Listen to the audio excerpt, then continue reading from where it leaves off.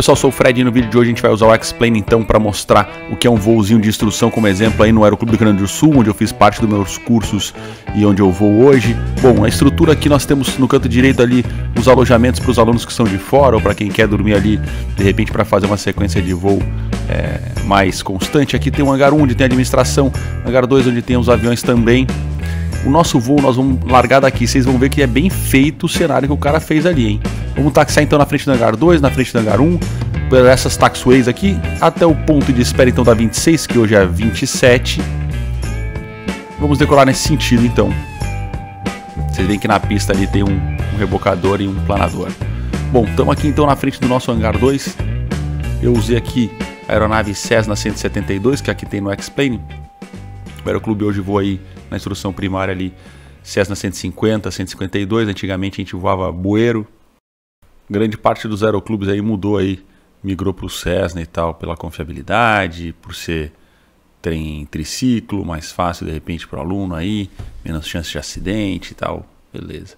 Tá aí o nosso 172 na frente do Hangar 2, muito legal é, o cenário que o cara fez, depois a gente bota no link ali o nome, putz, me esqueci aqui quem que era mesmo o nome do rapaz ali, vamos botar o link aí depois para vocês verem. Bom, Vamos iniciar então. A gente já fez o check pré-voo, dá aquela olhada lá fora. Como é que a gente começa aqui dentro então? É, before start. Liga a bateria, liga a bomba de combustível, olha a pressão de combustível subir ali. Liga, liga beacon light, luz anti-colisão, que é essa aqui no topo da cauda. Essa beacon ela serve para indicar que o motor vai ser acionado. Ela tem que ser mantida desde logo antes da, do acionamento até depois do corte do motor, ela tem que ser acionada. Puxamos então a mistura para rica Demos umas bombadas aqui na manete. Eu não sei se o Cessna é assim, porque no Piper é assim, dá umas bombeteadas nela, joga gasolina lá como se fosse uma afogadinha. Beleza? Tudo certo, tudo checado. Desliga a bomba e vamos só na bomba mecânica. Magnetos, start. Pegou, acerta para 1000 RPM ali, checa a pressão do óleo, tem que subir em até 30 segundos, senão você corta. É assim que funciona. Bom, vamos ligar agora nossos aviônicos. Eu não tô se você não sei se repararam que eu não estou usando o Track IR aí não, hein. Ligamos os nossos aviônicos, master aviônicos, porque no X-Plane 11 é meio ruim, viu, pessoal? Então você tem umas visões aí. Vamos botar nossa frequência 131.5 do Aeroclube. 2000 vamos deixar em standby o nosso transponder. Beleza. E aqui você ia falar Args, é o Papatango fulano de tal, acionado em frente ao hangar 2, com a borda, autonomia de tantas horas para as condições. E o pessoal do Args ia chamar ali o Args informa vento tantos graus. Tem ciência de uma aeronave no circuito, não tem ciência de aeronave no circuito, ou tem ciência. E aí você vai dizer, ah, vou fazer o treinamento na área do Lami, não tem ciência de aeronave na área do Lami e tal. Essas informações básicas. Vamos taxiando aí o pessoal que já voou aí no Args aí. Pode confirmar que tá bem legalzinho aí. O cenário do rapaz, velho. Certo? Já aproveitei aqui para dar uma testada nos freios. Durante o táxi você testa os dois freios, daí você testa individualmente cada um dos freios. Você testa o comando de bequilha, ou seja, se o avião está conseguindo, está seguindo os seus comandos de um lado para o outro aí. A gente faz uma série de cheques, eu estou fazendo isso mais pro pessoal que não é da aviação, né? Mas é uma série de, uma série de cheques que a gente faz aí para antes do avião sair do chão, porque depois que sair do chão, a gente não precisar ter que resolver uma pane que poderia ter sido resolvida no chão, ou quem sabe até o voo não ter sido feito. Tá? O padrão hoje do Aeroclube não é checar comandos e botar o flap aqui, mas na aviação comercial é assim, ó, comandos faz um quadrado para um lado para o outro, para frente para trás, bota o flap na posição de decolagem. Antigamente era assim, hoje eles mudaram e botaram tudo lá para o cheque de cabeceira para deixar o aluno focado no táxi. Beleza, faz faz sentido. A aviação comercial, enquanto você está taxiando, o copiloto está fazendo esse cheque de comando e botando o flap na posição de decolagem. Esse aqui é o chamado ponto de espera. O freio vocês vão ver que não está muito, muito ajustado não. Para quem não sabe, a linha tracejada e linha, linha contínua ali está até invertida aqui, viu, cara, no, no, cenário. A linha contínua do lado de cá e a tracejada do lado de lá. Ou seja, você pode sair da pista, mas não pode passar para a pista sem autorização em tese, né? Ponto de espera é assim. Beleza? Checamos aqui então, o que a gente vai checar aqui no nosso ponto de espera? Nós vamos botar então o nosso motor a 2.000 RPMs.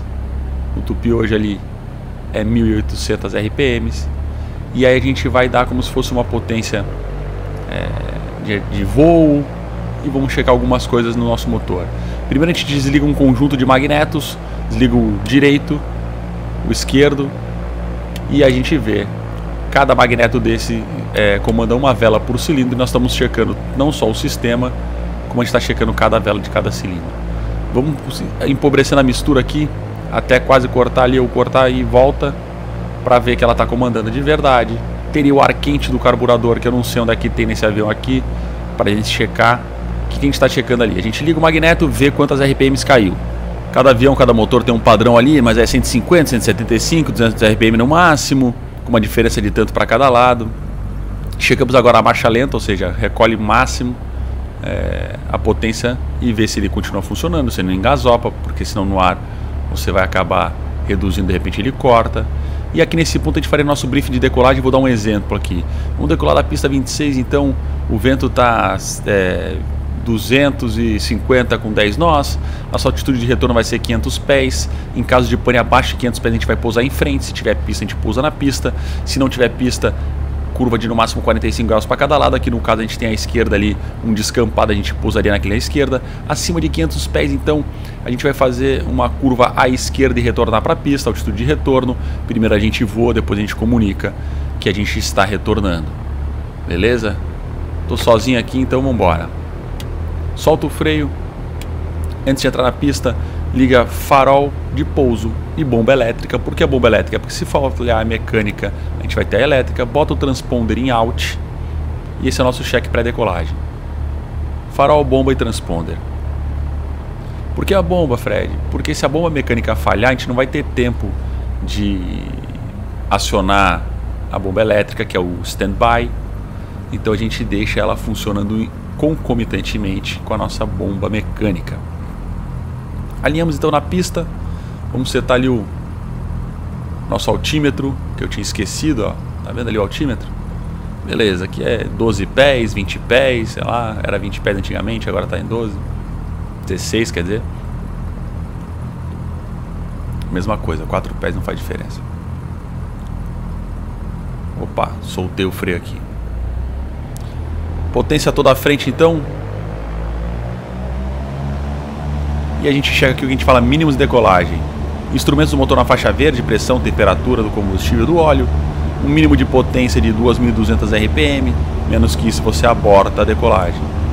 55 nós, 60 nós, tira ele do chão, deixa ele acelerar um pouquinho mais baixo aí, voa com 80, 70 nós, dependendo do avião aí, 80 nós, nessa subida inicial, até nossa altitude de aceleração que chama, que é 400 pés acima do campo.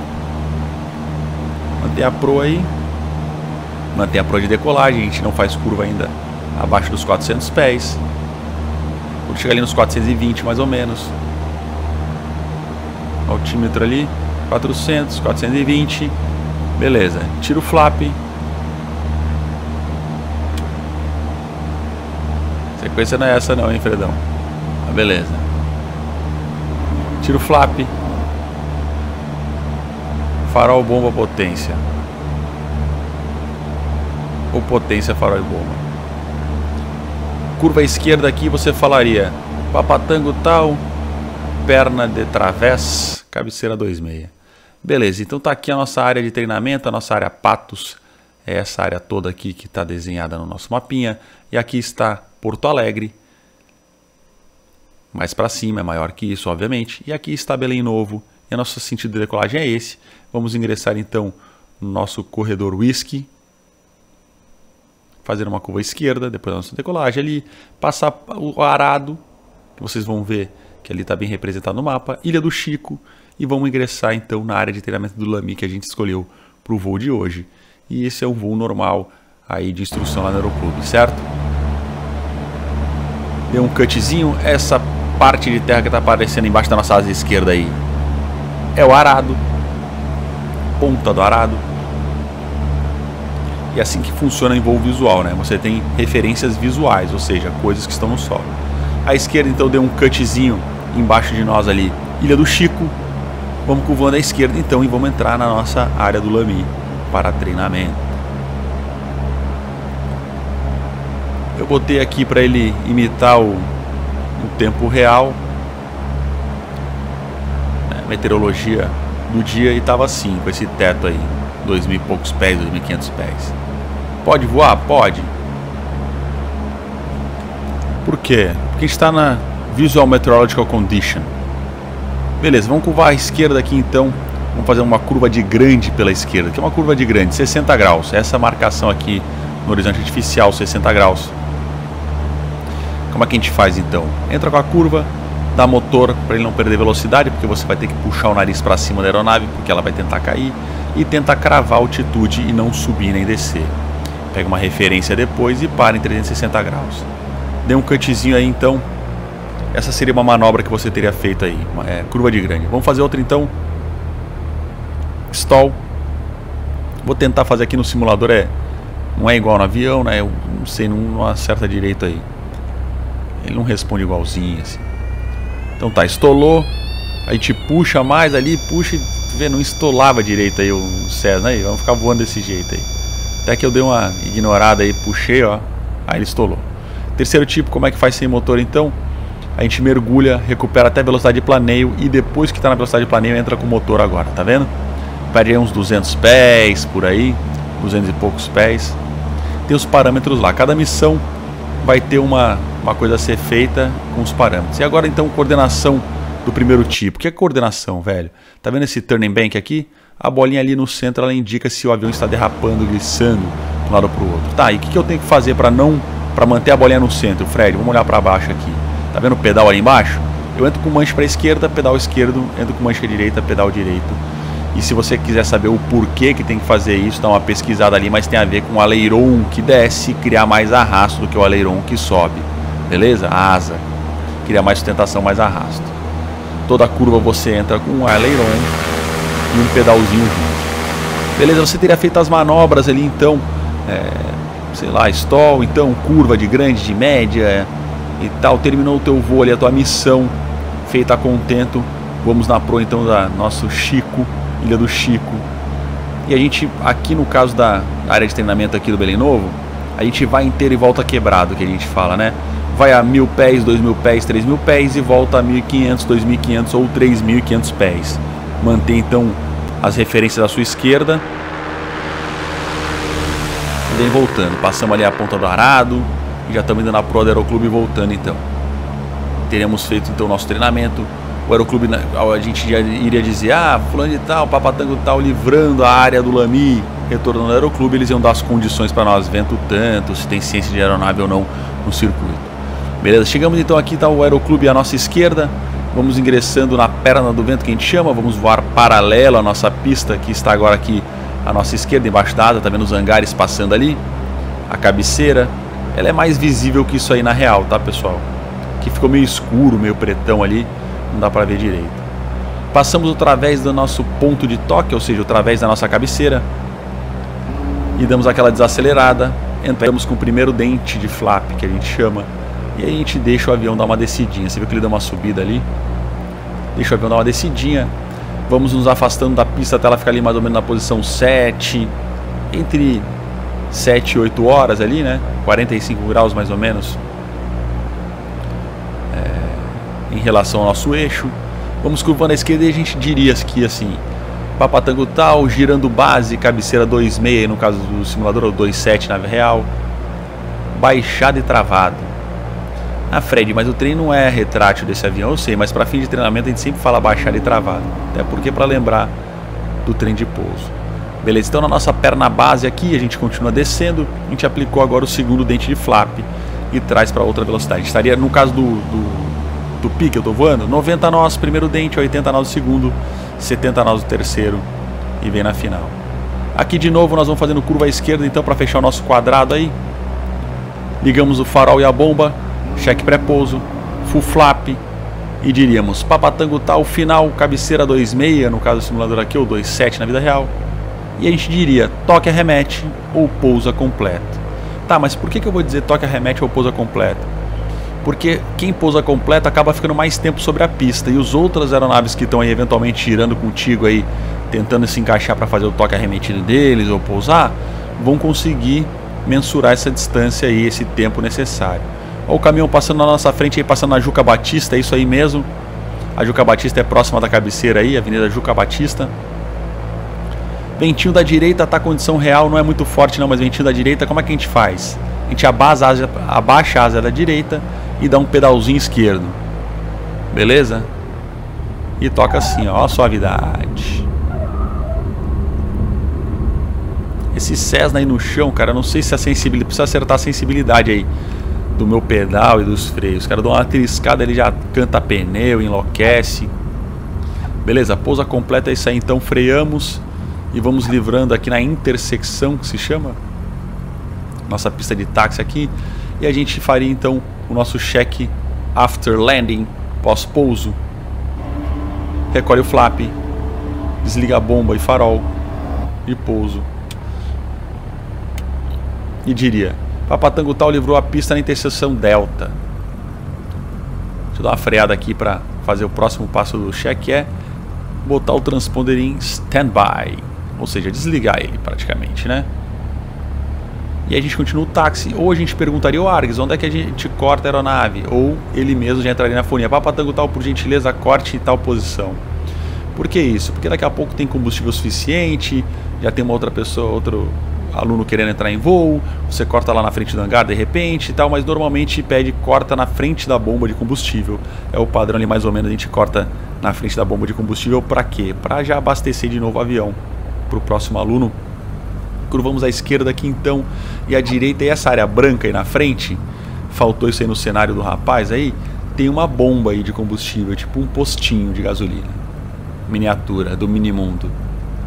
Beleza? E a gente faz assim, ó, corta de frente para ele mesmo para facilitar a vida de todo mundo. A gente corta e depois empurra ele para frente ali com a mão mais próximo da bomba. Certo? Ficamos na posição aqui, então o que a gente faz? Freio de estacionamento, potência 1000 RPMs. Vamos desligar nossas Aviation, uh, Aviation, Avionics, Avionics Master. Desliga tudo que é elétrico eletrônico, exceto a nossa Beacon Light, a nossa luz anti-colisão. A gente vai deixar ela ligada, que lembra que eu falei que é só depois que cortar. Com 1000 RPM, então a gente corta na mistura. Por que, que a gente corta na mistura? Para não ficar resquício de combustível lá e fazer depósito de chumbo. E agora sim a gente desliga a nossa beacon light, o master e os nossos magnetos. Tá vendo a cauda dele parou de piscar ali? É isso aí. A última coisa a ser então apagada é a nossa beacon light. Beleza, pessoal? Isso aí então. Tá feito dúvidas, sussurros, gemidos incontidos, lamentações de qualquer sorte. Comenta que a gente lê todos os comentários. Ficou aqui então o nosso voozinho de exemplo de instrução no Aeroclube do Rio Grande do Sul, mas eu aconselho você vai no Aeroclube da sua cidade, se informa como é que é, vê lá como é que é o lance para ser piloto ou não, como é que você pode fazer aí para tirar suas licenças. Beleza, pessoal? É isso aí. Fui.